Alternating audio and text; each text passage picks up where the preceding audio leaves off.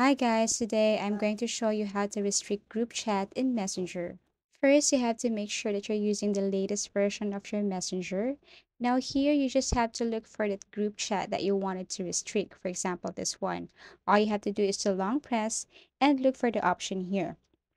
Unfortunately, we only have archive, delete, add members, leave group, mute, open chat head, mark as read, and there is no restrict option here. So obviously, we cannot find it here. Now, we just have to exit this Messenger application and go to our Google web browser and type m.facebook.com. And make sure that you are using the desktop mode. Okay, to do that, you have to tap these three dots at the top right corner, scroll down and look for desktop site.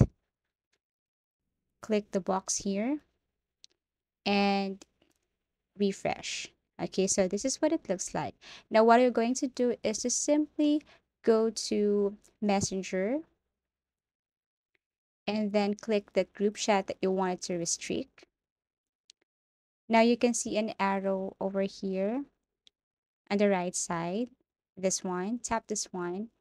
And when you tap this, you can see options same in your messenger application, but this time we have ignore messages.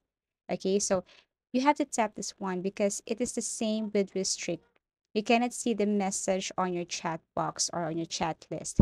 It will be ignored. Actually, you can unignore it anytime. Same with restrict. You can unrestrict it anytime. So as you can see, you cannot see that group chat here. So that's it. Thank you for watching and see you again in our next videos.